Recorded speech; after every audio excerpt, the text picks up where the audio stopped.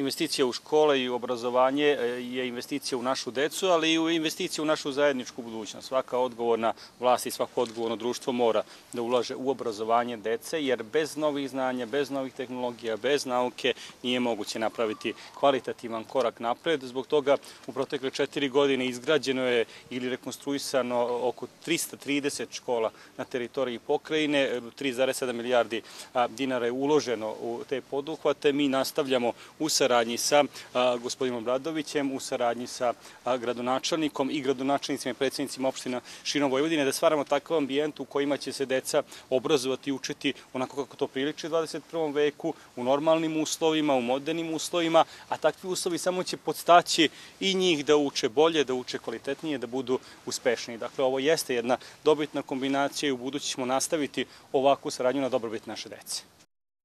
Za protekle tri, nešto više od tri godine uspeli dve nove škole da završimo u Novom Sadu, dakle Marija Tranofil u Veterniku, dr. Milan Petrović na Novom naselju i niz nadogradnji. Dakle, danas smo postavili školu Kosta Trivković koja će dobiti gotovo 50% kvadrata u odnosu na kvadraturu koju sada ima. I evo sad smo u Svetozar Marković Toza školi. Imam, imam tu čast da je to škola koju sam ja koji sam ja pohađao i zadovoljstvo mi je ovo kraj grada koji se razvija. Dakle, i ovde ćemo blizu 1800 kvadrata novih dobiti.